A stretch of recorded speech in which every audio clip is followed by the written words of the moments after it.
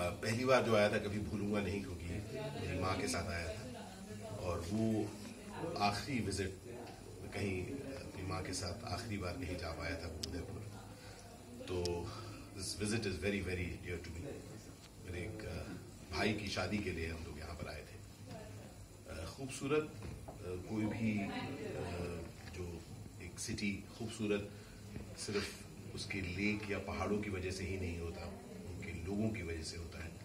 और पिछली बार भी अमेजिंग बहुत अच्छे लोगों से मिला आज भी मिल रहा हूँ।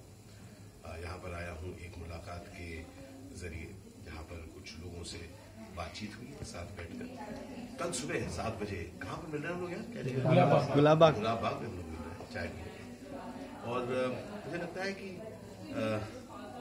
अमेजिंग होता है जब हम लोग लोगों से मिल पाए और खुशियाँ कुछ आ, साथ बांट पाए।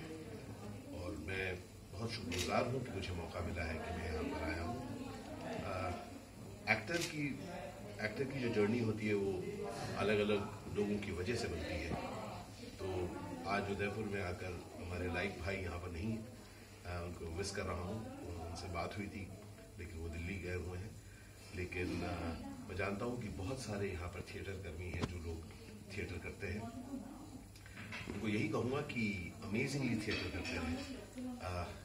इससे अच्छी ज़िंदगी की सीख कहीं नहीं मिल पाती। और मैं आज जो कुछ भी हूँ वो थिएटर की वजह से हूँ उसकी समझ से आ, अपने को अपने आयाम में डिस्कवर कर पाया थिएटर की वजह से। अगर आप में से कोई एक्टर बनना चाहता है तो प्लीज़ थिएटर ज्वाइन करें। आ, आप अपने कई आयामों को डिस्कवर कर पाएँगे। अमेजिंग सोर्स है वो ज़िंदगी के बारे में जानने का। इस उम्मीद के साथ आप सबको मैं इस इसके साथ ही मैं आप लोगों से इजाज़त दूँगा और कहूँगा कि have an amazing year ahead और सुख से रहें शांति से रहें और बहुत सारे प्यार बांटते हुए ज़िंदा रहें।